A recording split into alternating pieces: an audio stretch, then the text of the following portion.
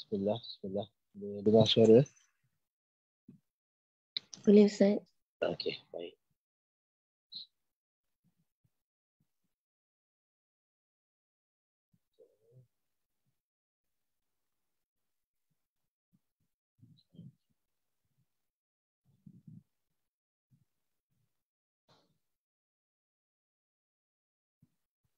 Baik, kita mula. Bismillahirrahmanirrahim.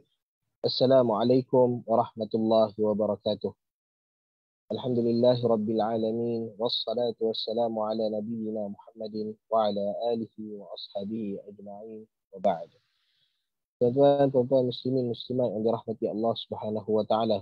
Pertama dan selama-lamanya segala pujian dan pujaan kita pada Allah Subhanahu wa taala yang mengizinkan kita dan yang mempertemukan kita di sini pada petang ini. Lalu insya-Allah kita menggunakan kesempatan yang Allah Subhanahu Wa Taala berikan kepada kita untuk kita bersama-sama duduk dengan kalam Allah Subhanahu Wa Taala. Baik, uh, tuan-tuan dan puan-puan yang dirahmati Allah Subhanahu Wa Taala, kita uh, masih lagi pada ayat yang ke-90 dan 91 daripada surah Al-Maidah. Di mana Allah Subhanahu Wa Taala berfirman, dalam ayat ini uh, pada ayat yang ke uh, fokus kita adalah pada ayat yang ke-91. Okay, ayat ke-90 Allah Subhanahu Wa Taala menceritakan tentang pengharaman dan pengharaman dekat sini adalah pengharaman yang uh, 100%. Okay, kalau sebelum turunnya ayat ini Allah Subhanahu Wa Taala masih menggunakan kalau kita sebut bahasa kiasan. Okay, Allah Taala menceritakan bahawa uh, arak uh, apa step pertama Allah Subhanahu Wa Taala nak menceritakan tentang keburukan arak ini maka Allah Subhanahu Wa Taala menyebutkan yas'alunaka 'anil khamri wal maisir qul fihima ithmun kabir wa manafi'u linnas. Allah Taala menyebutkan bahawa uh, pada arak dan judi ini ada manfaat dan ada mudarat. Ada kebaikan dan ada keburukan. Okay, nak bagi tahu bahawa uh, sebab pada waktu tu pada waktu tu orang uh, orang-orang Arab ni adalah orang yang sangat-sangat sukakan uh, Arab. Okay, bahkan ia menjadi sumber pendapatan mereka, menjadi makanan ataupun minuman harian mereka dan kebanyakan makanan-makanan mereka disertai dengan dengan arak terutamanya makanan-makanan pada waktu pada waktu malam. Okey. Lalu menyebabkan uh, kalau Allah Subhanahu Wa Taala menurunkan terus pengharaman arak, Allah Taala kata oh arak uh, memang semata-mata buruk maka haram arak bagi kamu semua akan menyebabkan ada orang yang terasa beratnya uh, syariat agama Allah Subhanahu wa taala. Okay, lalu Allah Subhanahu wa taala nak ajar pada kita bahawa dalam kita nak melarang sesuatu, dalam kita nak menghilangkan sesuatu keburukan, kita tidak boleh terlalu uh, kita panggil apa? mutahammis. Okey, dalam bahasa Arab dipanggil mutahammis. Okey, mutahammis. Mutahammis ni maksud dia apa?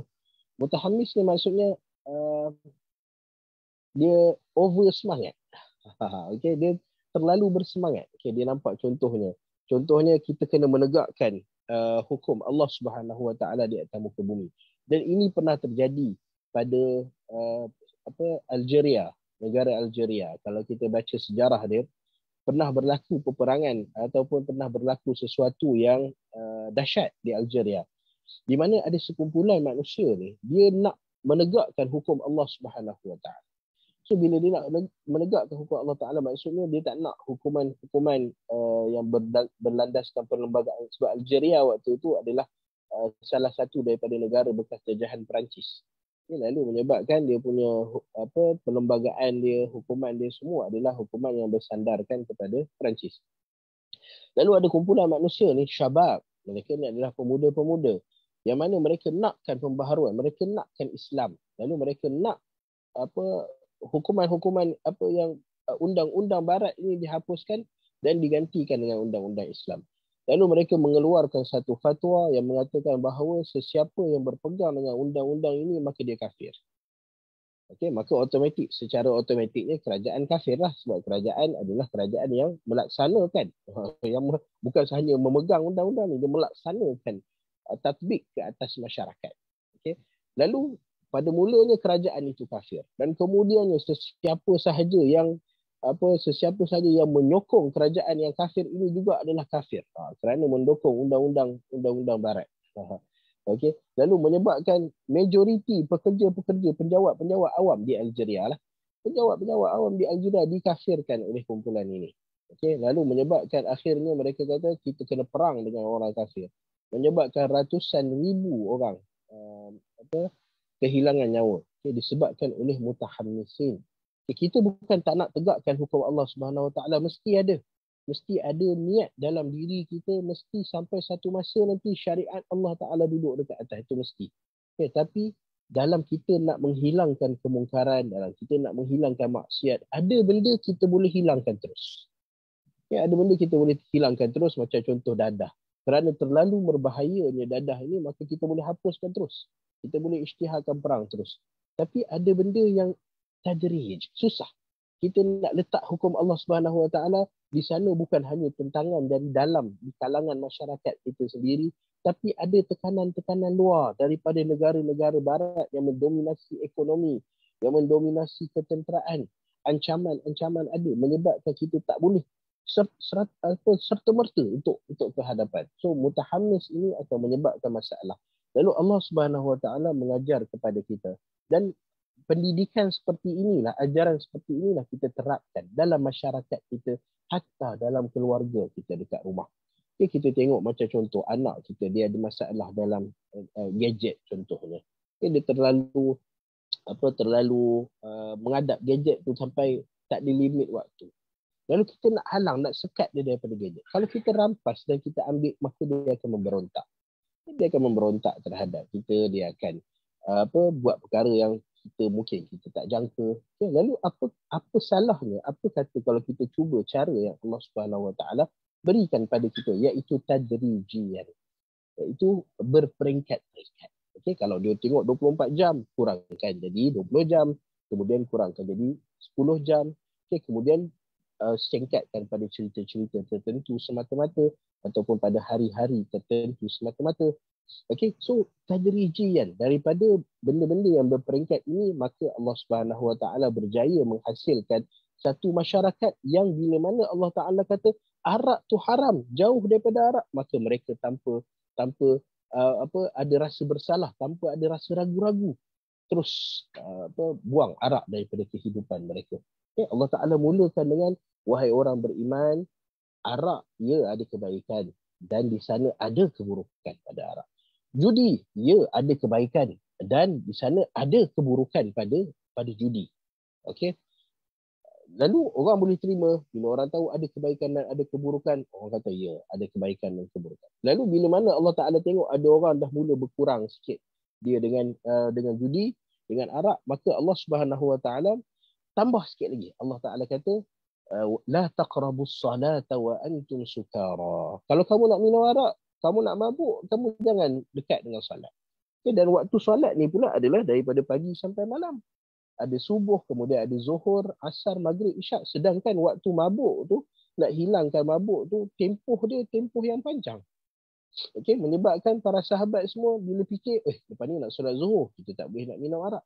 Ni nak solat maghrib, kita tak boleh nak minum arak. Nak solat isyak, tak boleh nak minum arak. So, para sahabat sikit demi sikit Tengok mereka sudah berkurangan dengan arak mereka. Lalu bila mana Allah Ta'ala datangkan ayat ini. Innamal khamru wal maisiru wal ansab wal azlam rijsum min amal syaitan. Fajtanibuhu. Allah Ta'ala tak kata jangan minum. Tapi Allah Ta'ala kata jauhkan diri kamu daripadanya. Jauh maksudnya jangan bagi ada sebarang ikatan. Eh, terhadap arak, terhadap judi, terhadap ansab, berhala-berhala. Eh, sebab kadang-kadang ada orang kata saya tak sembah berhala tapi dia tolong ukir. Okay, dia tolong design bentuk berhala. Okay, dia orang nak buat bangunan contohnya. Lepas tu tuan punya bangunan ni kata saya apa tahu bahawa dia ni adalah penyembah patung-patung. Kita pun tolong ukir untuk dia patung-patung. Lalu ini juga adalah larangan daripada Allah Subhanahu Wa Taala. Al-khamr, arak contohnya. Ada orang kata Allah Taala haramkan arak. Nabi SAW melaknat 8 golongan daripada orang-orang yang ada kaitan dengan arak. Orang yang beli dia, orang yang tolong pikul dia, okay, orang yang tolong sediakannya. Semua yang berkaitan dengan arak semua dilaknat oleh uh, Allah Subhanahu wa taala. Okey, nak menunjukkan bahawa Allah Taala kata fajtanibu, jauhkan diri kamu daripada empat perkara ini. Okey. Lalu Allah Subhanahu wa taala bila mengharamkan sesuatu, Maka Allah Ta'ala nak kita taat pada perintah Allah Subhanahu Wa Ta'ala. Walau bagaimanapun Allah Subhanahu Wa Ta'ala bersifat rahim. Allah Ta'ala bersifat rahim pada kita, penyayang pada kita. Sebab kalau Allah Ta'ala haramkan dan kemudian Allah Ta'ala senyap, kita akan tertanya-tanya, pasal apa haram? Okay, lalu kita akan mula memikirkan, sebab apa haram benda ni? Oh, haram sebab mabuk. Okay, kalau haram sebab mabuk, maka kalau kita minum arak tak mabuk, tak ada masalah. Nampak? Okay, bila mana kalau Allah Ta'ala biarkan kita macam tu. Okay, hatta dalam fiqah pun dia ada sesuatu yang dinamakan sebagai uh, illah. Okay, illah. Illah ni adalah sebab. Okay. Bila mana uh, contoh. Bila kita kata, okay, uh, wuduk. Wuduk eh. Okay. Kenapa difardukan wuduk? Okay. Difardukan wuduk. Lalu kita tak jumpa dalam syariat kenapa difardukan wuduk. Okay. Lalu para ulama dia tengok kenapa ada wuduk. Wuduk ni tujuannya apa? Okay. Tujuan wuduk adalah untuk kebersihan. So kebersihan adalah illah kepada wuduk. Sebab kepada wuduk. Okay. Tapi betul betul ke uh, apa apa kebersihan itu adalah sebab kepada wuduk?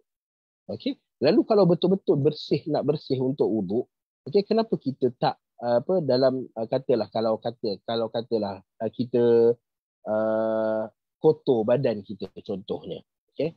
Badan kita uh, kotor contoh. Allah Subhanahu Wa Taala tak minta daripada kita untuk buang debu-debu tanah ke tanah liat ke kat badan kita untuk solat tapi Allah Taala minta daripada kita hanya untuk basuh beberapa anggota badan.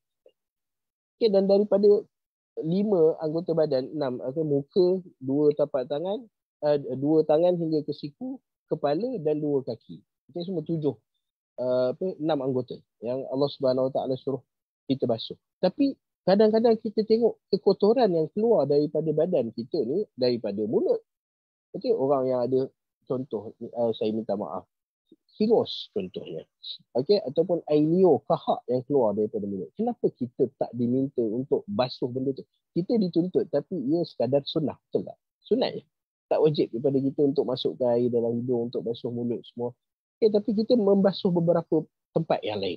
Okey, lalu kalaulah kita kata wuduk ni semata-mata kerana kebersihan, ilah dia adalah sebab kebersihan maka sudah tentu wajib untuk basuh tempat-tempat yang yang telinga. Ha telinga sunnah tu kan sunat je tapi telinga ni tempat keluar.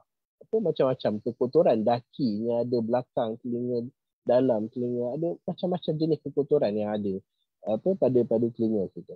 Tapi kenapa tak diperintahkan untuk kita basuh benda-benda ini okay, nak menunjukkan bahawa apa uh, Allah Subhanahu Wa Taala senyapkan ilah tersebut menyebabkan manusia akan cuba cari ilah. Dan ilah yang manusia bawa datang, sebab yang manusia bawa datang ni adalah sebab yang 100% tak tepat.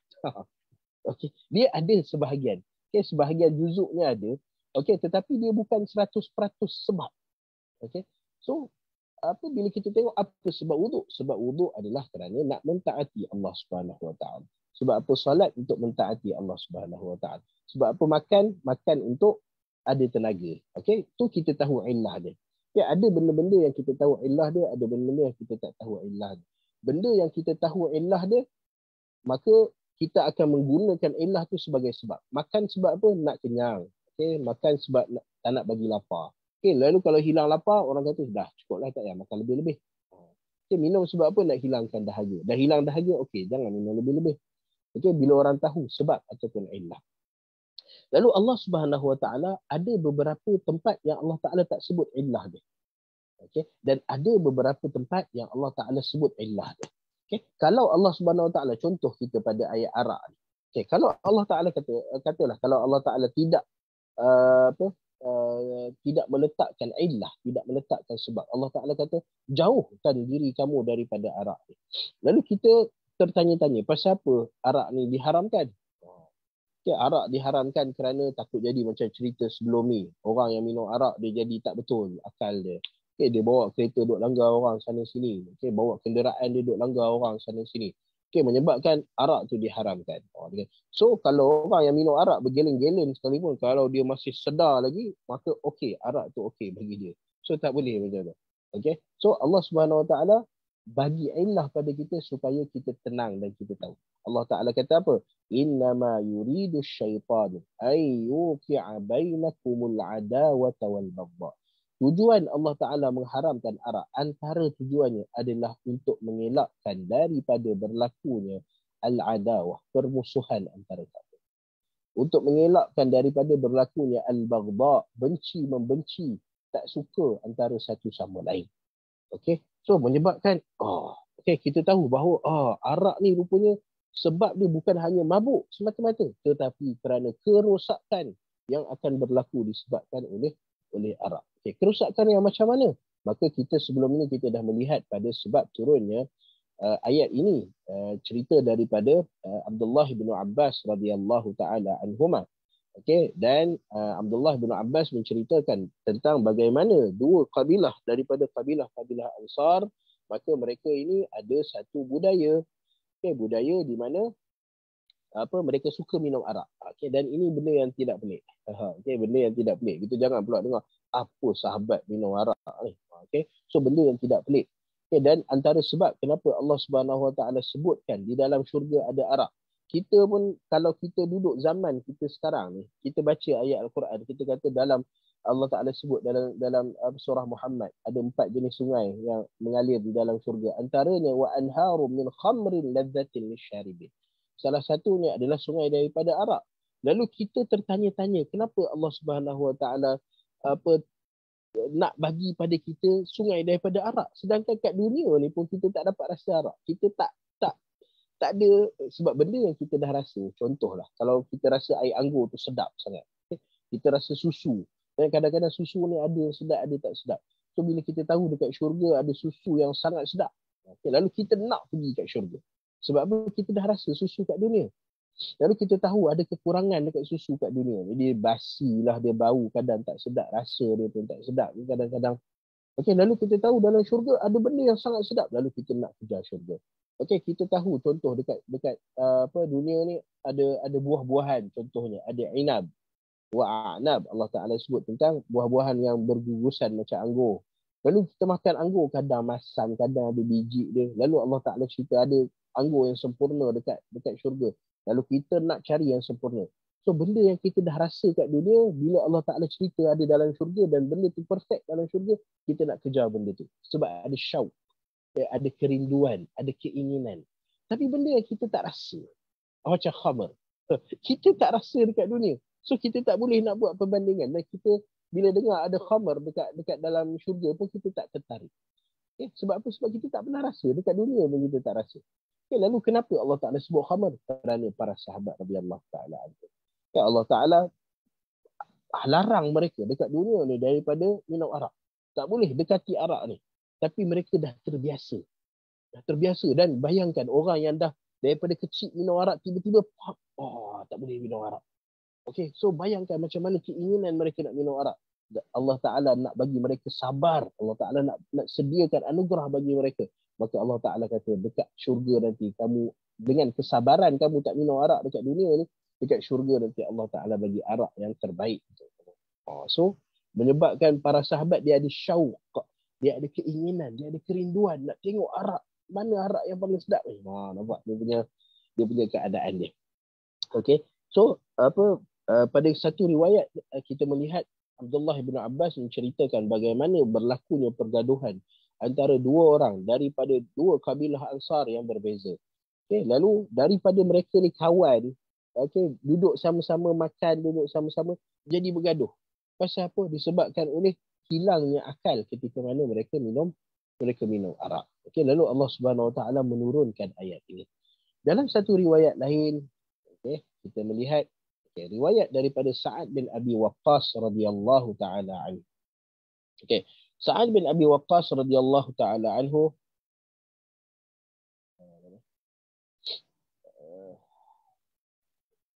Okey. Dia hilang riba. Okey. Uh, riwayat daripada Sa'ad bin Abi Waqqas radhiyallahu taala anhu. Okey, di mana kata Sa'ad radhiyallahu taala an annahu unzilat fihi ayatun minal Quran. Telah diturunkan berkenaan dengan Sa'ad. Siapa dia Sa'ad bin Abi Waqqas? Okay, kita tengok Sa'ad bin Abi Waqqas radhiyallahu taala anhu semua orang boleh kenal siapa dia Sa'ad bin Abi Waqqas. Okay, Abi Waqqas uh, gelaran bagi bapa dia. Okay, nama uh, bapa dia adalah Malik. Sa'ad bin Malik. Okay, Sa'ad bin Malik ataupun bin Malik. Okay. Sa'ad bin Malik bin Uhaib uh, radhiyallahu taala anhu. Sa'ad bin Abi Waqqas adalah bapa saudara Nabi sallallahu alaihi wasallam. Okay, bapa saudara yang bukan direct lah okay, bapa saudara daripada sebelah ibu Nabi wasallam. Okay, sebab nama Sa'ad bin Abi Waqqas, Sa'ad bin Abi Waqqas, uh, Sa'ad bin Malik bin Uhaib uh, bin uh, Zuhrah daripada Bani Zuhrah. Okey, daripada Bani Zuhrah bin Kilab dan uh, bin Uhaib eh? Sa'ad bin Abi Waqqas bin Uhaib. Okay. Nama mak Nabi adalah Aminah bintu Wahab. Kan Uhaib Wahab, adik-beradik lebih kurang kan. Okay, bin Zuhrah. Okay, dua-dua daripada kabilah Bani Zuhrah. Dan kabilah Bani Zuhrah ni terkenal di kalangan orang Arab sebagai antara kabilah yang memiliki kekayaan. Mereka menguasai harta kekayaan di Makkah Al-Mukarramah. Okay, itu uh, keluarga uh, Sa'ad bin Abi Waqqas bertemu dengan Nabi SAW daripada sebelah sebelah ibu dia. Sebab atuk kepada Sa'ad bin Abi Waqqas ni adalah uh, adik-beradik kepada atuk Nabi sallallahu alaihi wasallam sebelah ibu dia. Okey. Lalu kerana itu Nabi sallallahu alaihi wasallam dalam peperangan Uhud ketika mana Nabi diasak oleh uh, kaum kafir Quraisy. Okay, mereka nak bunuh Nabi sallallahu alaihi wasallam. Kaum kafir Quraisy dalam peperangan Badar nak kalahkan orang Islam. Tengok matlamat dia. Dalam peperangan Badar mereka nak kalahkan orang Islam.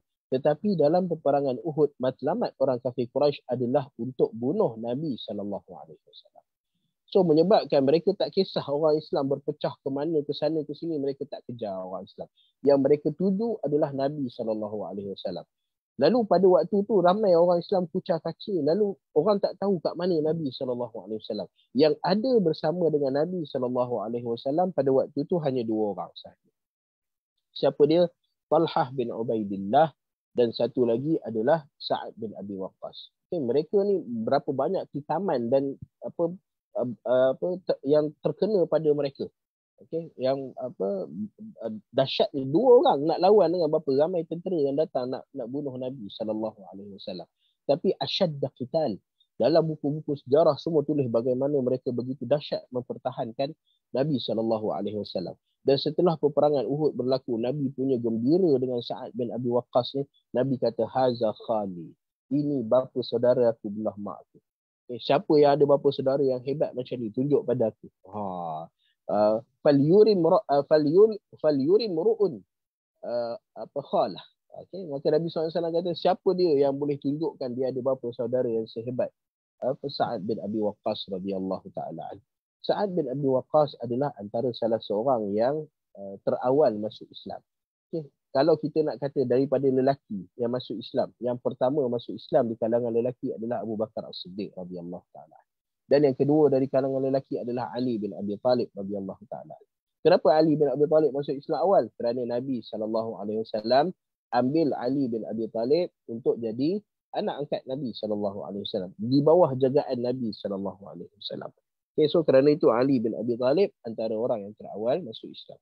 Kemudian anak angkat Nabi sallallahu alaihi wasallam Zaid bin Al-Harithah radhiyallahu taala Dan orang yang keempat, lelaki yang keempat masuk Islam adalah Sa'ad bin Abi Waqqas radhiyallahu taala Macam mana Sa'ad bin Abi Waqqas ni masuk Islam? Sa'ad bin Abi Waqqas dia adalah daripada keluarga Al-Asriya, keluarga yang kaya. Bani Zuhrah adalah bani keluarga yang datangnya Abdul Rahman bin Auf antara sahabat Nabi yang paling kaya. Okay, dan mak kepada Sa'ad bin Abi Waqqas ni nama dia Hamnah bin Umayyah, Hamnah bintu Umayyah daripada Bani Umayyah, kabilah yang sama datangnya Abu Sufyan, kabilah yang sama datangnya Uthman ibn Affan. So Sa'ad bin Abi Waqqas adalah daripada keluarga yang sangat kaya. Dan antara orang yang kaya di Makkah Al-Mukarramah pada waktu itu adalah Abu Bakar As-Siddiq radhiyallahu taala. Okay, dan Abu Bakar As-Siddiq bila ada kekayaan, yang ni antara benda yang kita kita perlu tahu, kita kena cerita pasal benda ni. Sebab ramai orang yang tersilap langkah dalam benda ni. Nabi dia ingat Nabi SAW memulakan dakwah dengan kosong. Hanya sekadar Allah Subhanahu Wa Taala dekat belakang dia. Okay, so ramai orang sekarang ni bila dia nak mulakan dakwah dia, nak mulakan NGO dia, nak buka sekolah dia, dia mula dengan kosong kerana dia yakin Allah Subhanahu Wa Taala duduk belakang dia. Ya, Allah Subhanahu Wa Taala duduk belakang dia. Tetapi kenapa tak buat seperti Nabi sallallahu alaihi wasallam? Allah Taala cerita tentang Nabi sallallahu alaihi wasallam wa wajadaka ailan fa'aghna. Allah Taala temui Nabi dalam keadaan miskin, tidak berharta, Nabi datang daripada keluarga yang ada kedudukan dekat Makkah, ya. Tetapi mereka hanya ada kuasa tanpa ada kekayaan. Keluarga Nabi Bani Hashim bukanlah keluarga yang yang kaya tetapi mereka terkenal dengan kedudukan yang kedudukan yang tinggi. Abdul Muttalib adalah ketua orang kafir di Makkah Al-Mukarramah. Abu Talib adalah ketua orang kafir di Makkah Al-Mukarramah. Kedudukan yang tinggi tapi tidak ada harta. Okay, tetapi kemudiannya apabila Nabi sallallahu alaihi wasallam berkahwin dengan Khadijah, okay, Nabi sallallahu alaihi wasallam bagi bagi apa uh, mahar kepada Khadijah untuk berkahwin dengan Khadijah dengan 12 uqiyah. Okay, 12 uqiyah min fiddah kalau kita tukar dalam tukaran hari ini boleh jadi uh, berpuluh ribu, 20 ribu atau 30 ribu. Okay, atau kalau kita nak tukar dalam tukaran hari ini, saya tak ingat secara detail je berapa. Okay, tapi nak katanya Nabi SAW bagi mahar yang cukup tinggi. Daripada mana Nabi dapat? Bermakna Nabi SAW bekerja, Nabi mengumpulkan harta, lalu Nabi menjadi kaya. Dan kemudiannya Nabi berkahwin dengan antara salah seorang orang paling kaya dekat uh, Makkah Al-Mukarramah. Okay, Khadijah bintu Khuwailid daripada Bani Asad. Ha, okay. Daripada Bani Asad uh, yang apa nak katanya bahawa apa daripada keluarga yang kaya. Ha, okay. Sebab dekat Mekah Al-Mukarramah ni, uh, kabilah-kabilah dekat Mekah dia sama ada dia pegang kekuasaan atau dia pegang harta atau dia pegang ketenteraan. Okay. Macam Abu Jahal dia pegang ketenteraan. Bani Makhzum. Okay. Bani Makhzum ni famous pegang ketenteraan. Okay. Bani Adi. Uh, mereka ni famous pegang ketenteraan. Okay. Bani Umayyah tahu pegang harta hebat. Bani Zuhrah pegang harta Masya Allah. Bani Hashim pegang kekuasaan. So nak nak kata mereka ada uh, pembahagian kuasa. Okay, tak ada satu kabilah tu pegang semua sekali. Tak ada. Okay, sebab kalau satu kabilah pegang semua, maka mereka akan mendominasi. Ya. So tak ada tak ada monopoli dekat Makkah Al-Mukarramah. Okay. So Nabi SAW tengok bagaimana Allah Ta'ala sediakan Nabi. Sebelum Nabi Allah Ta'ala angkat jadi Nabi, Allah Ta'ala siapkan semua. Nabi ada kawan-kawan dia. Nabi ada orang sekeliling dia mempercayai Nabi SAW. Dan yang lebih penting, Nabi ada backup kewangan yang cukup kuat. Okay? Nabi ada backup kewangan yang cukup kuat. Okay? Sebab tu bila mana Nabi SAW tiga tahun dipulaukan oleh orang-orang kafir, steady. Memang ada masalah makanan tapi steady. Sebab apa? Kewangan mereka kuat. Okay? Nabi boleh 10 tahun apa 13 tahun dengan Khadijah Nabi 10 tahun dengan Khadijah Nabi berdakwah di jalan Allah Subhanahu Wa Taala. Macam mana boleh bertahan? Nak dapat duit daripada mana? Nabi sallallahu alaihi wasallam para sahabat lagi yang menerima tekanan, ancaman orang yang bekerja semua dibuang daripada pekerjaan. Okay, orang yang dah berkahwin pun diceraikan, dipisahkan. So mana para sahabat nak dapatkan sumber kewangan kalau bukan daripada Nabi sallallahu alaihi wasallam mempunyai sumber kewangan yang yang kukuh. Okay, dan ini kesilapan yang banyak berlaku. Okay, Nabi tak mula berdakwah dengan tangan kosong. Oh, kosong-kosong pun pergi. Tak, tapi Nabi Allah Taala persiapkan Nabi sallallahu alaihi wasallam. Okey. So uh, apa abu antaranya adalah Allah Taala datangkan kepada Nabi ada orang-orang yang daripada golongan dermawan. Okey, usahawan yang dermawan. Okey, yang mana mereka membantu dakwah Nabi sallallahu alaihi wasallam ada Khadijah dan ada Abu Bakar As-Siddiq radhiyallahu taala. Lalu Abu Bakar As-Siddiq antara orang yang berpengaruh, ada kekayaan, lalu dia menggunakan kekayaan ni biasalah orang-orang kaya dia ada kelab-kelab dia. Dia, dia ada tempat pertemuan dia. Macam cakap Ampang, ada kelab Darul Ihsan. Dia tempat orang-orang apa kaya bertemu. Dia dekat Saujana Impian ke. Okay. Uh, bon Kiara sebut semua lah. Okay. So bila bertemu mereka ni maka berbincanglah sembang pasal uh, menara tu siapa punya projek ni macam mana. So antara benda yang disebutkan oleh Abu Bakar radhiyallahu taala anhu adalah berkenaan dengan Nabi sallallahu alaihi wasallam. Okey lalu bila mana Abu Bakar As-Siddiq nak menceritakan tentang Nabi sallallahu alaihi wasallam maka ada orang yang tak selesa. Okey tapi ada orang yang tertarik. Dan antara orang yang tertarik adalah Sa'ad bin Abi Waqqas. Dan Sa'ad bin Abi Waqqas ni keluarga dia ada bisnes. Bisnes buat apa? Bisnes buat anak panah. Okay, buat senjata. Dan kita tahu lah yang dapat pegang kontrak senjata ni biasa memang kaya Masya Allah. Ah. Okay. So ada bisnes senjata dan orang Arab ni satu jazirah Arab ni memang kaki perang.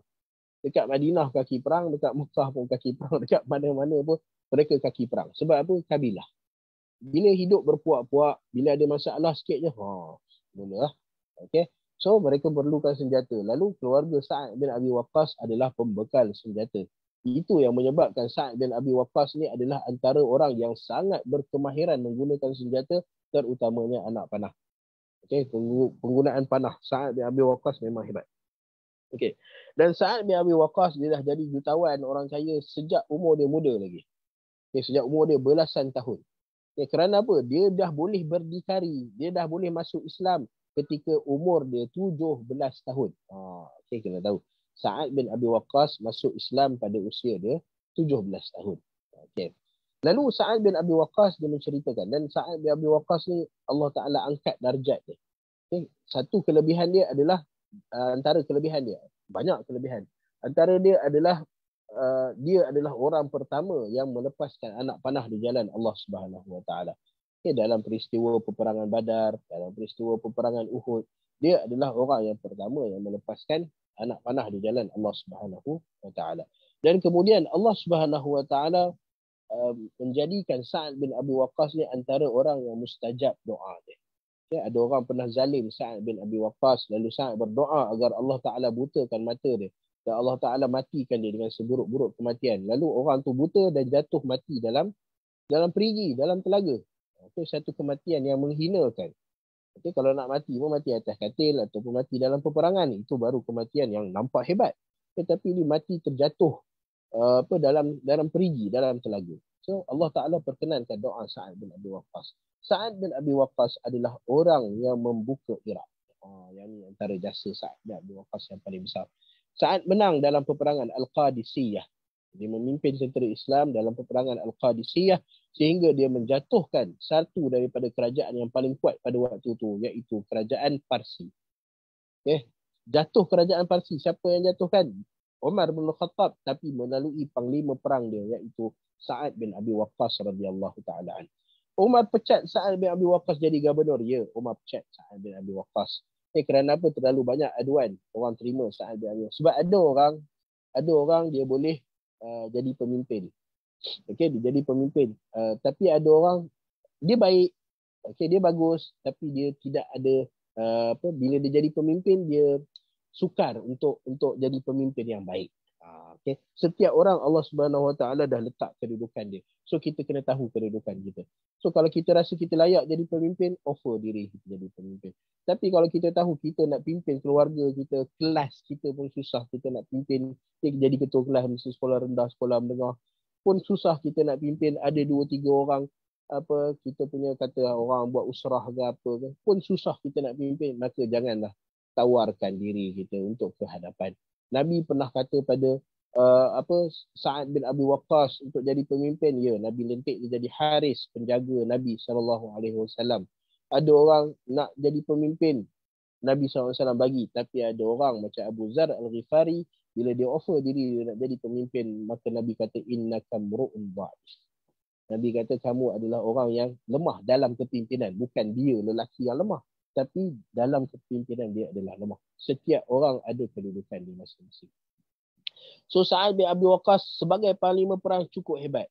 Okay, tapi kemudiannya setelah dia dilantik jadi gubernur dekat Iraq bermacam-macam aduan sampai pada Umar bin Al-Khattab lalu menyebabkan Umar bin Al-Khattab aduan pada Umar bin Khattab bukan kerana saat ni buat khianat ke makan rasuah ke pecah amanah ke tak. Okay, tapi kerana Sa'ad bin Abi Waqqas sukar untuk rakyat dia bertemu dengan dia. Okay, macam mana gubernur? Seorang pemimpin tapi rakyat susah nak bertemu dengan dia. Maka sampailah pada Umar bin Khattab. Lalu Umar bin Khattab turunkan dia daripada jawatan. Bukan kerana dia tak bagus tapi kerana Umar tak nak timbul fitnah lain Okay, antara bukti bahawa Sa'ad bin Abi Waqqas dia boleh jadi pemimpin yang baik apabila Umar antara enam orang yang Umar bin Khattab nak lantik jadi khalifah setelah kematian dia maka Umar menamakan salah seorang dia adalah Sa'ad bin Abi Waqqas radhiyallahu taala anhuma. Okey. Uh, Sa'ad bin Abi Waqqas radhiyallahu taala anhu. Okey, anak dia masuk Islam ya, tapi uh, ayah dia tidak. Okey. Baik, Sa'ad bin Abi Waqqas dia menceritakan bahawa uh, unzilat ataupun nazalat fihi ayatun minal Quran. Dalam satu riwayat kata Sa'ad bin Abi Waqqas turun empat ayat Al-Quran berkenaan ataupun ada kaitan dengan aku kata Sa'ad bin Abi Waqqas. Okay, lalu apa ayat-ayat dia? Okay. Maka kata Sa'ad bin Abi Waqqas, yang pertama, Halafat Ummu Sa'din an la tukallimahu abadan hatta yakfura bidinihi wa la ta'kul wa la tashrab. فقال زعمت أن الله وصاك بوالديك وأنا أمك وأنا آمرك بهذا. Okay, baik. Cerita yang pertama kata Sa'ad bin Abi Waqqas, halafat Ummu Sa'ad. Mak aku kata Sa'ad telah bersumpah Okay, ketika mana saat masuk Islam pada usia dia 17 tahun, mak dia bersumpah. Mak dia bersumpah apa? Nak mogok lapar. Tak nak makan, tak nak minum. Sampailah saat keluar daripada agama Islam. La ta'kul wa la tashrab. Dia tak nak makan, dia tak nak minum. Okay, dan mak dia kata pada saat, wahai saat, kamu kata agama kamu yang baru ni, apa agama yang mengajarkan kepada kamu supaya berbuat baik kepada ibu bapa kamu. Okay, dan mak dia kata, aku mak kamu wahai Sa'ad. Dan aku perintahkan kepada kamu untuk buat benda ni. Iaitu tinggalkan agama kamu. Okay. Lalu Sa'ad bin Abi Waqas kata, wahai mak, buatlah apa yang kamu nak, aku takkan tinggalkan agama kamu. 17 tahun. 17 tahun. Eh. Nak bagi tahu pada kita, 17 tahun pada waktu tu bukan budak lagi. Dia bukan budak lagi. Pada waktu tu 17 tahun adalah seorang pemuda yang matang yang boleh berdikari. Ha. Dia tak kisah pada pada mak dia. So nak katanya dia boleh berdikari. Sebab kadang-kadang bila kita tengok usia, kita sekarang kita kata 17 tahun, maka kita kata 17 tahun budak lagi. Eh, kita sebut macam tu. 15 tahun budak lagi. 15 tahun para sahabat yang muda-muda ni berlumba-lumba nak turut serta dalam peperangan Uhud. Sampai mereka kata, Lau sarak tuhu, lau sarak tuhu. Wahai Rasulullah, nak tengok siapa boleh pergi ya Rasulullah, mai kita bergaduh ramai-ramai. Ha, bagi kami yang muda-muda ni bergaduh, berguling, kusti. Siapa yang menang boleh ikut pergi perang. Itu umur dia 15 tahun pada waktu. Nak katanya bahawa mereka ni dah jadi pemuda yang matang pada usia belasan tahun. So kita apa uh, secara umum dia, kita tak boleh nak pukul rata manusia ni. Kita tak boleh nak kata 17 tahun ni apa budak lagi. Sebab ada orang yang 17 tahun, ada tempat yang 17 tahun matang. Okay. Ada orang usia 13 tahun dah boleh mengajar. Ha. 13 tahun dah boleh duduk untuk untuk mengajar. Macam kisah Dr. Yusuf Al-Qaradawi contohnya. Umur 16 tahun dah boleh mengajar. Boleh boleh uh, apa mengajar uh, mazhab Hanafi ke mazhab uh, mazhab Syafi'i atau mazhab Hanafi saya tak ingat. Eh, tapi dah boleh mengajar. Kita nak tunjuk kematangan kematangan yang ada pada orang-orang uh, pada tempat-tempat tertentu. Eh, sebab tu bila kita uh, mewartakan ataupun meletakkan bahawa had umur kematangan adalah 18 tahun, ini adalah satu kesilapan yang besar. Okay. Kesilapan yang besar. Sebab dalam Islam, kematangan itu berlaku dengan balir. Apabila sampai usia balir 15 tahun, maka pada waktu itu akal manusia ini sudah terbentuk. Okay. Dan sepatutnya sudah kita nampak kematangan pada pada pemuda-pemuda kita, pada remaja. Kita panggil dia remaja tapi itu adalah usia awal untuk jadi pemuda. Ya, tapi bila kita letak 18 tahun, maka kita anggap 17 tahun tu budak, 16 tahun tu budak. Kita tak beri, tak beri kepercayaan kepada dia untuk memegang amanah-amanah yang besar. Kita tak didik dia daripada usia 15 tahun. So 13 tahun, 3 tahun antara 15 ke 18 tahun kosong kerana layanan kita sebagai budak-budak. Sedangkan selepas mereka balik, pada usia 15 tahun mereka boleh dipertanggungjawabkan dengan syariat agama. Apatah lagi dengan benda-benda yang bersifat dunia. Okey. Maka mak Saad ni bila dia dengar Saad kata buatlah apa dia? Apa? Aku tak akan tinggalkan agama kamu. Maka maka Saad salatan tiga hari tiga malam dia tak makan dia tak okay. hatta ghushiya alaiha min al-jahd dan kerana terlalu penat, terlalu lapar, terlalu dahaga sangat, maka pengsan. Saat Rushya alaiha min al-jahd. Kerana terlalu penat, pengsan. Faqam, faqama bin laha yuqalu lahu umarah. Okay, maka ada seorang adik-beradik Sa'ad ni. Ya, nama dia uh, adik-beradik lelaki dia. Yang nama dia Umarah. So Umarah ni dia bila tengok mak dia pada awal ni mana ada orang tahan tengok mak tak makan tak minum uh, lepas tu pengsan pula tu. Terasa Sa'ad bin Abi Waqqas pun terasa dalam hati dia. Okay, tapi dia lebih mengutamakan Allah Subhanahu Wa Taala daripada mak dia. Ya. ini Sa'ad bin Abi Waqqas. Okay. lalu Umarah ni dia buat apa? Umarah ni uh, apa? Uh, fasaq fasaqaha. Okey maksud Umarah ni dia bagi minum. Nak satu riwayat menceritakan bahawa nak bagi minum pada mak Sa'ad ni susah. Eh, susah sebab apa? Dia memang tak nak makan, dia tak nak minum. Dia dah, dah bersedia dah untuk berhadapan dengan sebarang kemungkinan. Umarah ni nak bagi makan dan minum pada mak Sa'ad ni sampai dia ter, terpaksa letak kayu. Buka mulut secara paksa, letak asar. Asar, kayu. Ah, ha, dia terbuka. Lepas tu kemudian bagi makan dan kemudian bagi minum pada mak Sa'ad. Okay, kalau kita tengok apa gambaran seperti ini kita rasa ah, insya-Allah. Mak macam mana boleh macam ni tapi tengok baga- macam mana dahsyatnya keimanan para sahabat radhiyallahu taala anhu. Kenapa Nabi jadikan saat ni antara salah seorang yang dijamin syurga antara al-asharah al-mubasysyirin bil jannah. Antara 10 orang yang dijamin syurga salah seorang dia adalah Sa'ad bin Abi Waqqas radhiyallahu taala anhu. Okay. Lalu mak Sa'ad ni bila dapat makan, dia dapat minum, apa benda first kali dia buat? Dia doa laknat kepada Sa'ad. Dia doa macam-macam benda buruk pada pada Sa'ad. Okay. Maka Allah Subhanahu Wa Taala nak pujuk hati Sa'ad. Okay. So Allah Subhanahu Wa Taala apa Sa'ad nak berhadapan dengan mak dia, dengan ancaman mak dia, tengok mak dia pengsan lagi, kemudian mak dia bangun, cakap macam-macam, doa benda tak elok pada dia. Lalu Sa'ad perlukan sokongan pada waktu tu. Lalu Allah Subhanahu Wa Taala memberikan sokongan. Bila mana Allah Subhanahu Wa Taala sebut ayat pada surah Luqman ayat 15 wa wasainal insana biwalidayhi husna wa in jahadaka ala an tusyrika bima laysa laka bihi ilmu fala tuti'huma. So Allah Subhanahu Wa Taala sebut tentang apa yang saat buat ni adalah benda yang betul. Kita dituntut untuk taat pada ibu dan ayah kita, untuk berbuat baik pada ibu dan ayah kita, melainkan pada perkara-perkara yang membawa kepada maksiat pada Allah Subhanahu Wa Taala maka tidak wajib untuk kita taat kepada mereka. Itu pun dalam keadaan kita tak wajib taat pada mereka Allah Taala kata apa? Wasahibhuma fid dunya ma'ruf.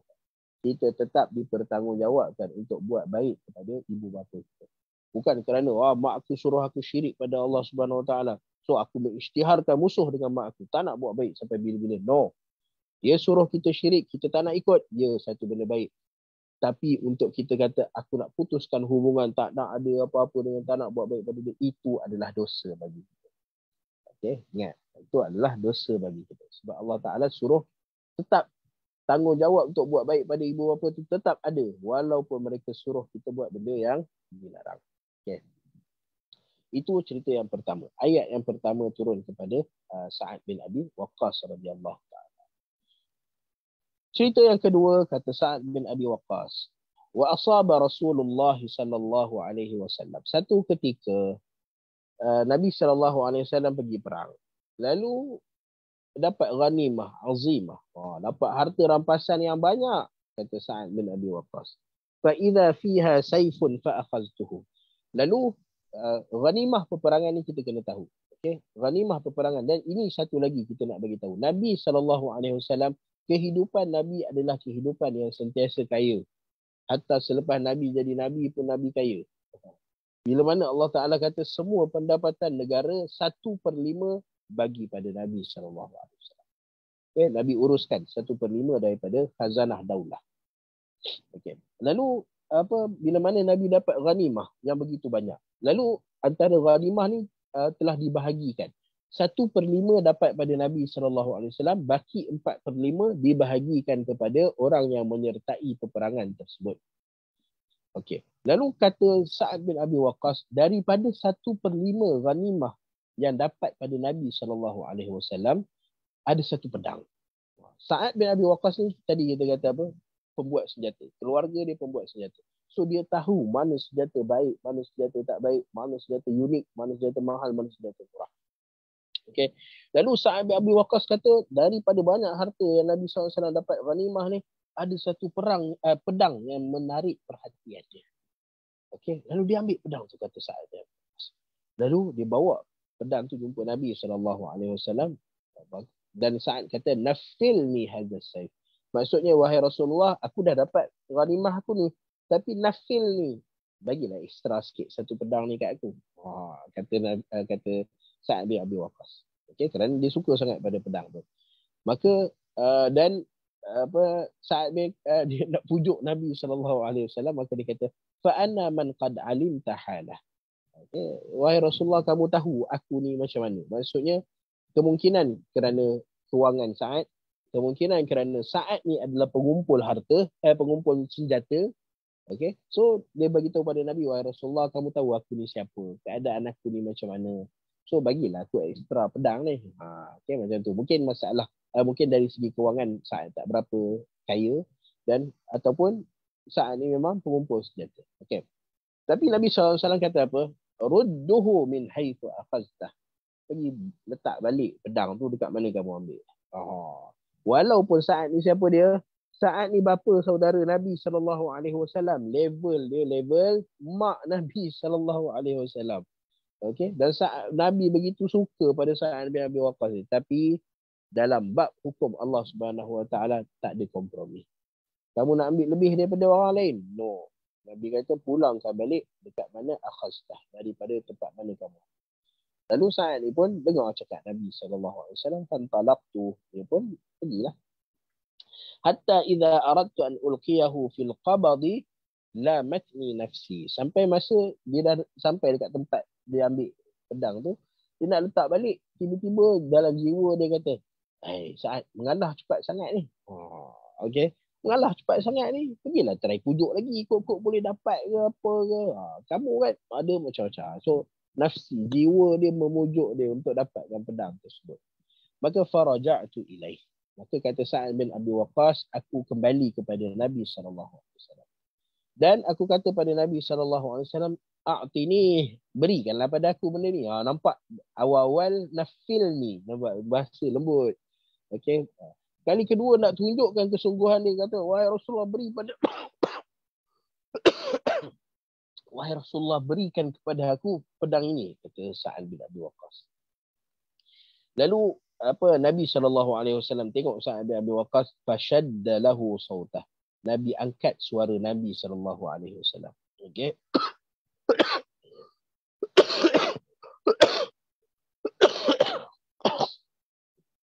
Nabi angkat uh, suara Nabi sallallahu alaihi wasallam dan Nabi kata pada saat rudduhu min haitsu akhadta. Kembalikan semula apa uh, pedang ni pada tempat mana kamu ambil dia. Okey. Lalu kemudian Allah Subhanahu Wa Taala menurunkan satu ayat sebagai satu teguran kepada Sa'ad dan kepada sesiapa yang nak buat perbuatan yang sama macam Sa'ad. Yas'alunaka 'anil anfal, qulil anfalu lillahi war rasul. Maka mereka bertanya kepada kamu wahai Rasulullah tentang al-anfal. Okey, maka jawab Nabi sallallahu alaihi maka Allah Taala kata, "Qul wahai Muhammad bagi tahu kepada mereka al-anfalu lillahi walir rasul."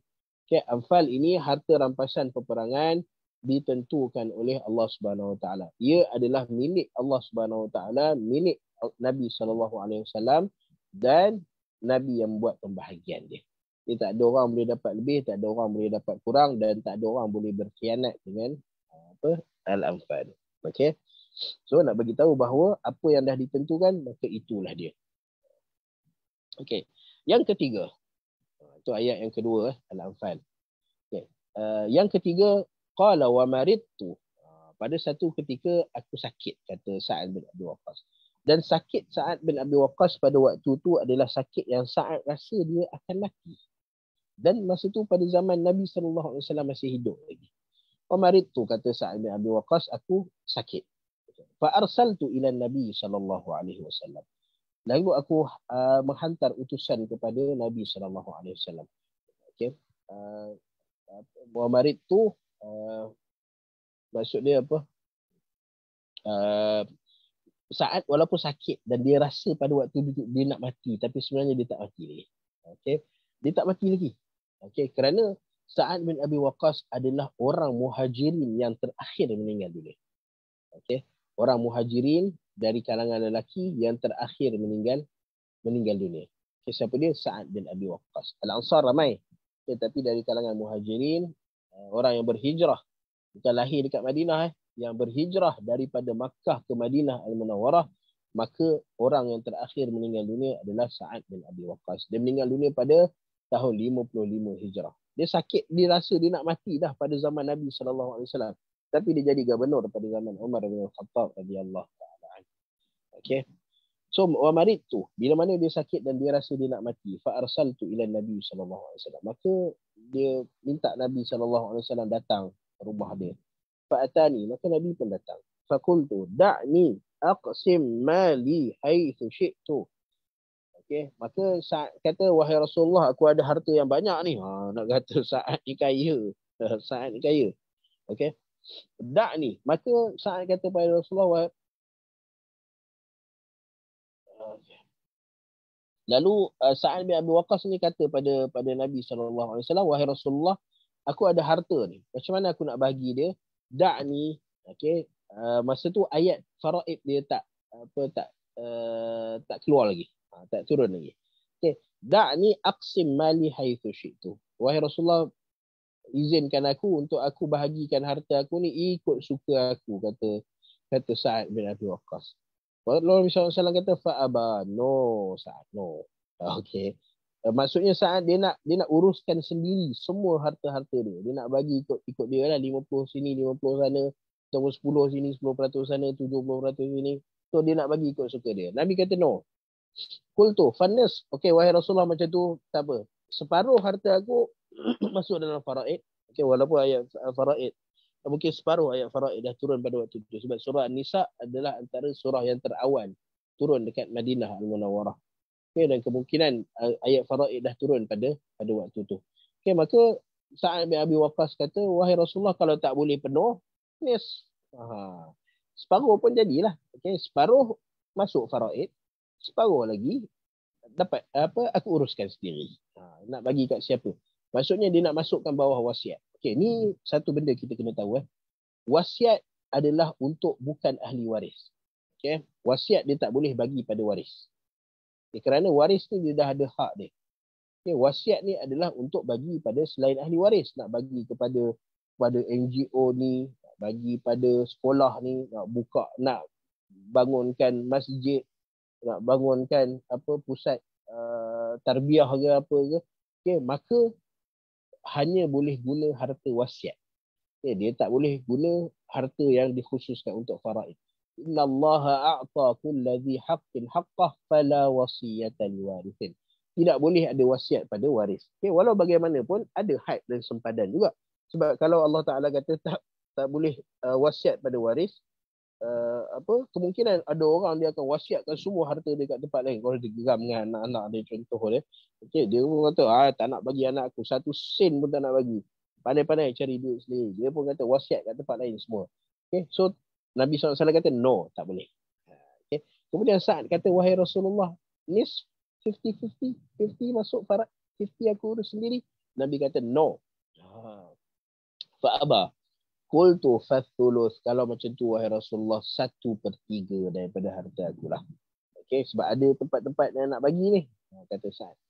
Qala fasakat. Maka Nabi SAW senyap pada waktu tu. Ha, okay. Senyap pada waktu tu kerana Nabi kata-kata Nabi adalah wahyu. So Nabi tak boleh bagi jawapan bila mana Allah Ta'ala tak bagi wahyu pada Nabi SAW. Fakana ba'du as-thuluthu jaizan. Fakana as-thuluthu ba'du jaizan. Okay, dan selepas itu daripada pertanyaan Sa'ad bin Abi Waqqas ini maka as-sulus dapatlah satu per tiga daripada uh, apa harta. Uh, satu per tiga daripada harta boleh diwasiatkan. Okay, kalau ada wasi-wasi datang, wasiat shop datang, eh, nak bagi wasiat, maka boleh berwasiat dengan satu per tiga harta, harta kita sahaja. Okay. Qala wa ataitu ala nafarin. Okay. Uh, uh, dan Nabi SAW dekat sini dia tak cerita. Nabi SAW sebut pada pada uh, Sa'ad bin Abi Waqqas innaka intadhar abna'aka aghniya khairun laka min an tadharahum 'alatan fuqara yatakaffafuna wujuh. Okey, antara benda yang uh, menjadi tanggungjawab ibu dan bapa adalah untuk memastikan anak dia selepas kematiannya tidak menjadi seorang yang lemah. Okay, lemah dari segi dunianya dan lemah dari segi uh, agamanya. Okay. Nabi Yaakob alaihi salam, Nabi Ibrahim alaihi salam, maka sebelum kematian mereka wa wassa biha Ibrahim banihi wa Yaqub ya bunayya inna Allah astafa. Okay, Nabi Ibrahim, Nabi Yaakob sebelum kematiannya pastikan bahawa anak-anak mereka ni adalah anak-anak yang beriman kepada Allah Taala, mentaati Allah Taala. Bahkan Nabi Yaakob tanya, "Ma ta'budu min ba'di?" Siapa yang kamu nak sembah setelah kematian aku? Kata Nabi Yaakob. Maka bila anak-anak dia bagi jaminan, qalu na'budu ilahaka wa ilaha abaika Ibrahim wa Ismail wa Ishaq ilahan wahida wa nahnu lahu muslimun. Barulah Nabi Yaakob tenang, boleh pergi dengan tenang. Sebab apa? Sebab dah dapat jaminan daripada anak-anak dia. Pada masa yang sama Allah Taala sebut dalam Al-Quran wal yakhshal ladhi la law taraku min khalfihim dhurriyatan dhi'afa. Takutlah kamu. Ha, Okay, falyattaqullah. Allah Taala kata bertakwalah kepada Allah Taala. Maksudnya ia adalah satu satu ancaman. Walaupun dia bukan ancaman yang kuat, tapi satu ancaman Allah Taala kata bagi orang-orang yang tinggalkan zuriat keturunan dia dalam keadaan lemah. Maksudnya tak mampu nak menguruskan dunia dia dan akhirat pun hilang. Dia hilang. Okay, so ibu bapa tanggungjawab untuk sebab apa ibu bapa hantar anak-anak pergi sekolah. Dia nak belajar sebab apa? Supaya boleh menguruskan dunia mereka. Kenapa ibu bapa hantar anak-anak belajar agama? Kafah, Quran. Supaya anak-anak ni ada agama. So dunia dan akhirat. Apa? Tanggungjawab pada pada ibu bapa. So sebab tu Nabi SAW larang Sa'ad bin Abi Waqas daripada gunakan sepenuh harta dia untuk diwasiatkan. Lalu nanti anak-anak kamu tak ada harta apa mereka akan buat wahai Sa'ad. Okay. Walaupun mereka boleh berdikari tapi takut mereka menjadi orang-orang yang meminta-minta. Okay. So kamu tinggalkan harta kamu untuk untuk mereka. Okay. So uh, apa Nabi SAW kata kamu tinggalkan anak-anak kamu dengan harta itu peratusan untuk mereka kuat dekat dunia itu lebih tinggi. Okay. Daripada kamu tinggalkan mereka tak tak berharta, takut-takut kemungkinan mereka akan yatakafafuna wujuhan nas mereka meminta-minta daripada orang lalu orang akan cakap nanti siapa dia ni? Ah ni lah anak fulan nur fulan. Bukan ke fulan nur fulan tu kaya ada harta kenapa anak jadi macam gini kan? Okay, orang akan berkata-kata sesuatu yang tak elok pada siapa? Pada orang yang meminta tu dan pada zuriat. Apa dia punya atuk nenek moyang dia. Okey. So kerana tu Nabi SAW kata dua per tiga harta adalah untuk ahli waris yang tak boleh nak kacau. Okey.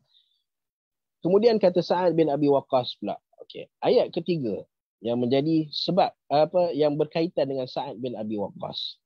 Okey, yang berkaitan dengan Sa'ad bin Abi Waqqas adalah ayat uh, kata Sa'ad bin Abi Waqqas wa ataitu ala nafarin minal ansar wal muhajirin.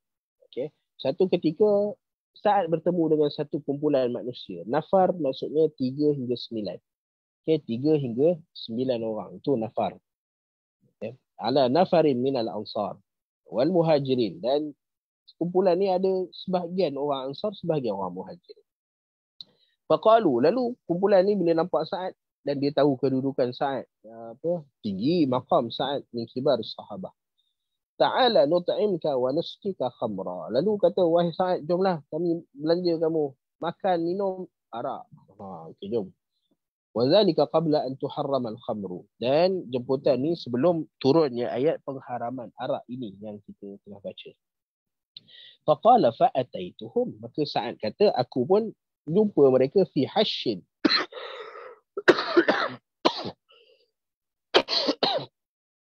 kata saat aku pergi jumpa dengan mereka fi hashin dalam satu bustan, dalam satu kebun. Okay, dan hash ni dia jenis kebun yang uh, kita kata tanaman-tanaman yang dekat bawah ni lebat. Ha, okay, dia ada kebun-kebun yang macam kelapa sawit. Kelapa sawit ni tanaman bawah ni tak adalah lebat mana sekali ni. Tapi kalau masuk kebun durian contohnya, bukan nak kata kebun durian tu ada dekat dekat sana. Tapi masuk kebun durian contohnya.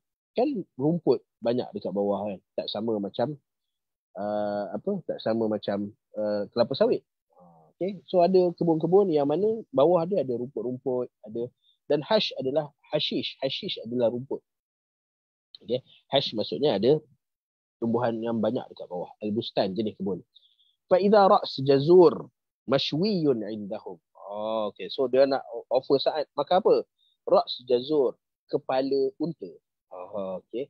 Offer kepala unta dan kepala unta sedap. Serius sedap, Masya Allah. So ada satu makanan orang Arab ni, nama dia Al-Mukh. Mukh ni maksudnya otak. Otak kambing atau otak unta.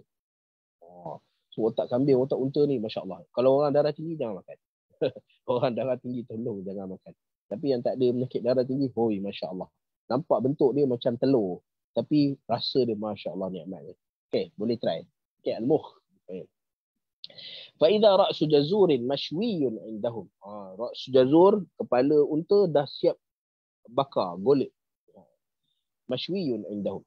Wa zikkun min khamr. Ha, dan dekat situ ada satu balang apa arak. Qala fa'akaltu wa syaribtu ma'ahum. Maka kata Sa'ad, aku makan dan aku minum bersama dengan orang Ansar dan Muhajirin. Qala fazakartu al-Ansar wal Muhajirin indahum. Maka Sa'ad bin Abi Waqas ni dia ada status yang tinggi. So dia masuk dalam meeting-meeting dalam uh, network dia dari kalangan orang-orang yang besar. Orang Ansar, orang Muhajirin yang besar-besar. Ha. Okay, yang kanan-kanan. Okay, lalu dia tahu benda-benda yang orang lain tak tahu. Ha, okay, maksudnya Muhajirin dengan Ansar yang duk makan dengan dia ni adalah golongan-golongan yang junior. Okay, dia senior. Lalu dia pun cerita. Dia pun ceritalah kebaikan-kebaikan orang Ansar. Dia cerita-cerita kebaikan orang muhajirin. Okay, dia cerita macam-macam peristiwa tentang Ansar dan muhajirin. Fakultu. Tapi sampai satu masa, saat dia bagi komentar dia. Okay, dia bagi komen dia. Dia kata apa? Wal muhajiruna khairun minal ansar. Dan orang-orang muhajirin ini lebih baik daripada orang-orang ansar. Okay, dan dia sebut benda tu dalam keadaan dia, mamai-mamai. Okay dia tak perasan pun. Kalau dia dalam keadaan sedar, sudah tentu dia tak sebut benda ni. Okay, kerana dia tahu benda ni boleh menimbulkan rasa tak senang hati di kalangan beberapa orang. Okay, orang-orang tertentu. Okay, maka tapi dalam keadaan dia tak boleh berfikir dengan baik disebabkan oleh khamar arak, maka dia sebut al-muhajiruna khairun min al-ansar. Orang-orang muhajirin ini lebih baik daripada uh, orang-orang ansar. Qala fa akhadha rajulun ahada lihyai uh, ra's fadarabani maka salah seorang daripada lelaki yang ada dekat situ dan tentunya lelaki itu adalah daripada ansar okey oi dengar dan lelaki itu sebut pun dia junior berani dia nak pukul Sa'ad bin Abi Waqqas. Mana dia nak berani pukul Sa'ad bin Abi Waqqas? Tapi disebabkan oleh arak dalam kepala dia dia dah gelong macam tu dan dia dengar pula ui kamu kutuk aku punya family. Tak boleh jadi. Dia pun ambil lihyai uh, lihyai maksudnya uh, apa uh, lihyai lihyah ni maksudnya janggut. Okay, dan Nabi SAW menyebutkan dekat apa muka manusia ni ada dua lihyah, ada dua janggut. Misai disebut janggut, janggut pun disebut janggut. Okay. So bila mana lelaki ni ambil ahadul lihyai, maksudnya sama ada dia pegang rahang sebelah atas, iaitu dia pegang bahagian misai, ataupun dia pegang rahang sebelah bawah, dia pegang bahagian janggut. Tapi yang pentingnya dia buat apa? Dia ambil kepala kepala unta tu lalu dia buat apa dia pukul muka Sa'ad dia Waqqas okay fadarabani boom okey dan muka kena kat mana? Dalam satu riwayat ah ha, ada kat sini. Fajaraha bi anfi. Luka pecah hidung Sa'ad bin Abi Waqqas unta punya tulang ya salam. Okey jangan cakap muka eh, kepala dia je. Kalau nak gigit nak nak nak hancurkan tulang-tulang yang kat bawah tu pun susah. Tulang kaki dia, tulang apa, masaklah berapa lama pun susah untuk lembutkan uh, tulang-tulang uh, unta ni. Oh, tapi sud tulang dia, Masya Allah. Okay. Lalu, kata saat fajaraha uh, bi'amfi. Okay. Dia lukakan muka hidung aku, kata saat Nabi Wafat. Fa'ataitu Rasulullah sallallahu alaihi wasallam. Aku pun datang pergi jumpa Nabi sallallahu alaihi wasallam nak mengadu. Okay, lalu fa'akhbartuhu. Lalu Sa'ad bin Abi Waqqas mengadu pada Nabi. Ceritakan kepada Nabi SAW apa yang berlaku dan disebabkan oleh apa. Ha, so, para sahabat ni jujur. Mereka tak ada datang jumpa Nabi bagi tahu cerita pendek je. Wahai Rasulullah, mereka uh, dia ni pukul aku kat hidung aku berdarah. So apa nak hukum dia tak ada. So saat cerita bisya'nil khamr. Okay. So saat cerita bahawa benda ni jadi disebabkan aku minum arak, dia pun minum arak. Maka kerana itu Allah Ta'ala turunkan ayat 90 dan ayat 91 daripada uh, surah Al-Ma'idah. Lalu antara uh, ayat ini turun disebabkan oleh dua orang sahabat. Siapa dia? Sa'ad bin Abi Waqqas dan Umar bin Khattab radhiyallahu taala. Bila mana Umar minta pada Allah Subhanahu wa taala, Allahumma bayyin lana fil khamri bayanan syafiyah. Ya Allah, bagilah penjelasan yang sejelas-jelasnya tentang arak ini. Maka pada masa yang sama juga berlaku peristiwa Sa'ad bin Abi Waqqas. Lalu Allah Ta'ala menjadikan ia sebab kepada untuk turunnya ayat ini. Ayat 90 dan ayat 91. Dan riwayat ini adalah riwayat yang diriwayatkan oleh Al-Imam Muslim rahimahullahu ta'ala di dalam sahih. Okay. So ini adalah sebab turunnya ayat ke-90 dan 91. Ada satu lagi ayat berkaitan dengan Sa'ad bin Abi Waqqas. Semua saya tak ingat. Semua ayat tu dia tak turun spesifik kepada Sa'ad. Okay, tapi dia turun kepada sekumpulan manusia. Ayat dalam surah Al-An'am. Ayat dalam surah Al-An'am bila mana Allah Subhanahu wa taala sebut wala tatrudil ladzina yad'una rabbahum bil ghadati wal 'ashiyyi yuriduna wajha. Ayat mana eh? Tak. Quran. Ayat wala tatrudil ladzina yad'una rabbahum bil ghadati wal 'ashiyyi. Surah Al-An'am. Eh? ما عليك من حسابهم من شيء وما من حسابك عليهم من شيء fatatrudahum fatakuna minadh dhalimin wa kadzalika fatanna 133 okey ayat 52 ayat 52 surah al-an'am. Okey ayat ni turun kepada uh, bukan hanya kepada Sa'ad sebab Sa'ad bin Abi Waqqas bagi tahu bahawa turun empat ayat berkaitan dengan aku kata Sa'ad bin Abi Waqqas. Okey tiga spesifik kepada Sa'ad bin Abi Waqqas secara uh, infirad secara individu Okay, tapi satu lagi adalah berkumpulan. Di mana ketika mana satu ketika enam orang sahabat datang jumpa Nabi sallallahu alaihi wasallam. Okey, enam orang sahabat antaranya adalah Sa'ad bin Abi Waqqas. Lalu enam orang sahabat yang jumpa Nabi sallallahu alaihi wasallam ni nak berjumpa kerana ada sebab tertentu. Tapi Nabi sallallahu alaihi wasallam pada waktu itu sedang duduk dengan orang-orang kafir Quraisy. Okey. Menyebabkan Nabi sallallahu alaihi wasallam kata kepada orang ni, uh, uh, orang kafir kata pada Nabi sallallahu alaihi wasallam, "Wahai Rasulullah, kami atau mereka?" Ah, okay, buat pilihan. Nak kami ke nak mereka? So Nabi sallallahu alaihi wasallam pun sebut pada uh, seolah-olah nak menghalau orang Islam yang enam orang yang nak datang jumpa Nabi sallallahu alaihi wasallam. Lalu Allah Taala turunkan ayat 52, "Wala tatrudil ladina yad'una rabbahum." Jangan sesekali kamu halau mereka ini wahai Muhammad. Okay, kerana mereka datang dan mereka akan bawa faedah dan manfaat Sedangkan orang kafir yang bersama dengan kamu tu belum tentu lagi mereka akan datang dengan faedah dan manfaat. Kalau beriman, Alhamdulillah. Tapi kalau tak beriman, rugi. Tapi orang yang beriman tentu datang untuk bagi kamu satu manfaat ataupun minta supaya turunnya ayat. Dan memang betul-betul Allah Ta'ala turunkan ayat 52 daripada surah Al-An'am kepada uh, apa untuk membela mereka ni. Okay. Wallahu ta'ala a'lam. Okay, kita akan pergi seterusnya insyaAllah pada sesi akan datang pada ayat yang ke-93 insyaAllah. Okay, so untuk hari ini kita uh, selesai dan kita buka untuk uh, soalan. Okay, ada orang yang... Di chat ada. Di chat ada? Ha, ada soalan satu Ustaz. Okay. Baik. Assalamualaikum Ustaz. Siapa lagi yang dijamin syurga selain 10 orang yang kita ketahui? Okey, orang yang dijamin syurga adalah orang yang nama mereka disebut di dalam uh, apa uh, di dalam hadis-hadis Nabi sallallahu alaihi wasallam. Okey, so antara sahabat yang uh, insya-Allah dijamin uh, syurga adalah Ka'ab bin Rabi'ah. Okey, Ka'ab bin Rabi'ah ni apa satu ketika Nabi sallallahu alaihi wasallam tanya pada Ka'ab bin Rabi'ah, "Wahai Ka'ab bin Rabi'ah, kalau ada benda yang aku nak tanyakan pada Allah Subhanahu wa taala, untuk kamu apa benda yang aku boleh doa kepada Allah Taala maka Ka'ab bin Rabi'ah kata wahai Rasulullah apa jadikan aku uh, murafaqatuka fil jannah uh, okay.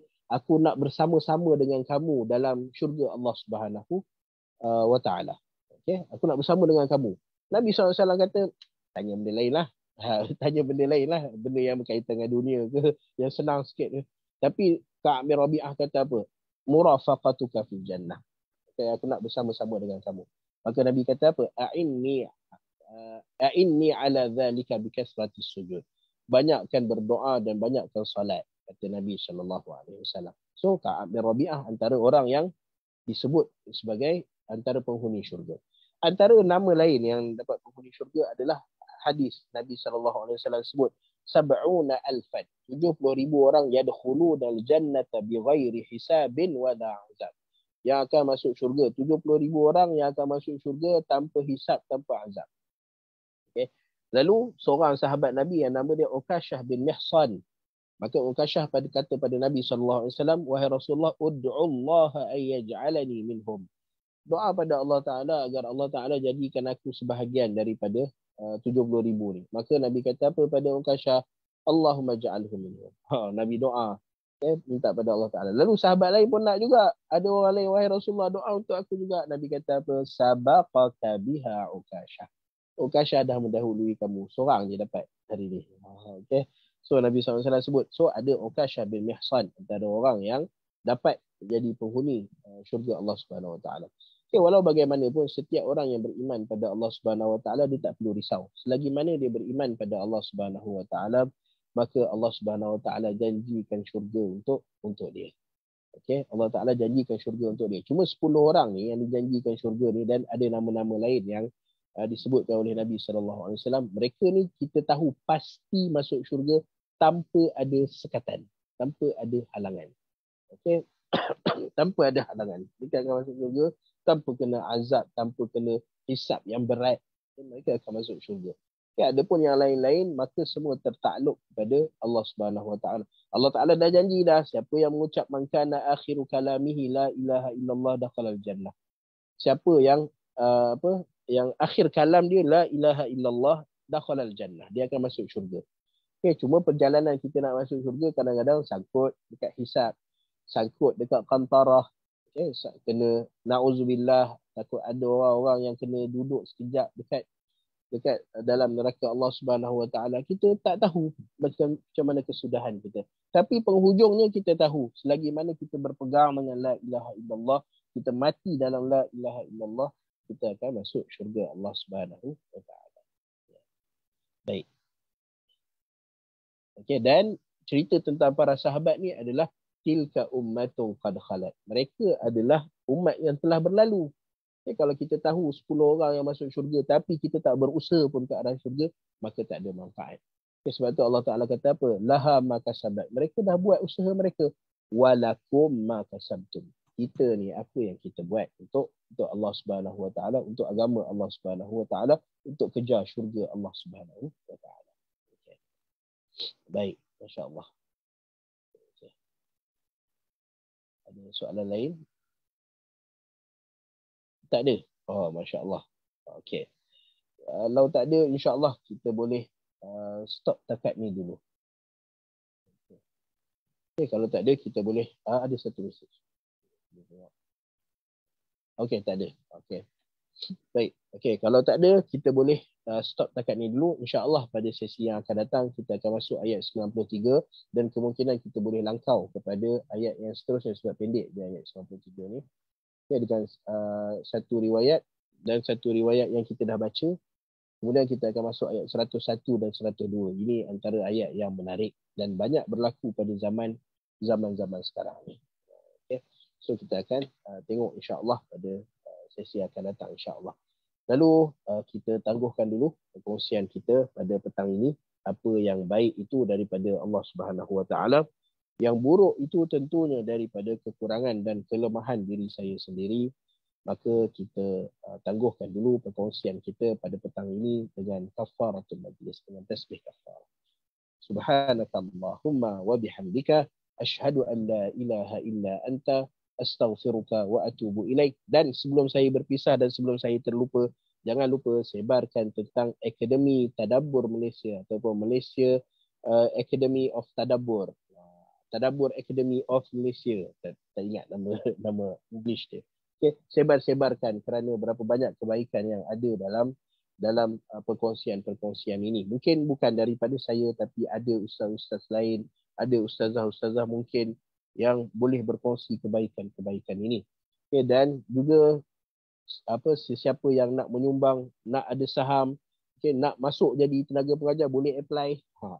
Dan siapa yang ada rezeki yang lebih untuk bagi sumbangan untuk membangunkan akademi ini, untuk sebarkan luas ilmu ini, maka boleh uh, buat sumbangan uh, kepada uh, pihak akademi dan boleh berhubung dengan uh, apa dengan uh, tuan punya uh, akademi ataupun ha terima kasih puan puan uh, Syahira. Okey untuk uh, apa memberi pada akademi.